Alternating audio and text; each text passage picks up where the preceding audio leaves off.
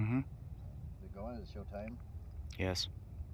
Receiver 8.1 volt. Battery voltage 50.1 volt. Motor on.